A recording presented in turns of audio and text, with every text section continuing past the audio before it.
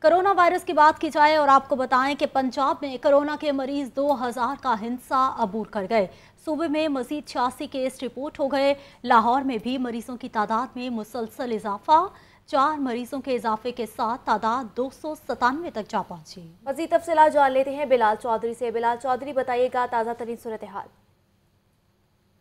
پنجاب بھر میں corona virus کے جو مریض ہیں، ان کی تعداد میں بدستور اضافہ جاری ہے اور اس وقت پنجاب سے کرونا وائرس کے مزید چھیاسی کیس رپورٹ ہو چکے ہیں، جن کے بعد اب پنجاب میں مجموعی طور پر جو تعداد ہے، وہ دو ہزار سے تجاوز کر کے دو ہزار چار تک پہنچ گئی ہے، جس میں سے دو سو چھہتر زائرین ہیں اور پانچ سو انتالیس ریمنٹ سے منسلک افراد ہیں، انچاس قیدیوں اور جبکہ چھ سو نوے شہریوں میں کرونا وائرس کی جو ہے، وہ تصدیق ہو چکی ہے۔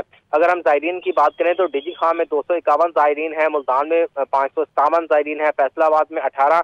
اسی طرح اگر تبلیغی ارکان کی بات کریں تو رائمنڈ مرکز میں سب سے زیادہ چار سو چار ہے منڈی بہاؤدین میں تین ہے سرگودا میں سولہ ہیں، بہاڑی میں چودہ راول پنڈی میں چھ، جہلم میں دس تبلیغی ارکان ہیں۔ اسی طرح اگر شہروں کی بات کریں تو پنجاب بھر کے سائز اضلاع میں کرونا وائرس جو ہے وہ پھیل چکا ہے اور جس میں لاہور کا جو شہر ہے یہ نمبر ون ہے۔ شہر لاہور میں سب سے زیادہ کرونا وائرس کے جو کیس ہیں دو سو ستانوے تک پہنچ چکے ہیں اور اسی طرح دیگر شہروں کی بات کریں تو اس میں ننکانہ میں تیرہ، قصور میں نو شیخپورہ میں ایک راول پنڈی میں اکسٹھ جیلم میں تیس، اٹک میں ایک گجراوالا میں انتالیس سیال کوٹ میں سترہ نارووال میں چھ، گجرات میں سن میں شہریوں میں تصدیق ہوئی ہے۔ اسی طرح حافظ آباد میں چھ، منڈی بہاؤدین میں چودہ، ملتان میں چار، وہاڑی میں تیرہ فیصلہ آباد میں اکیس، چنیوٹ میں چھ، رحیم یار خان میں تین، سرگودا میں چھ، شہریوں میں تصدیق ہوئی ہے۔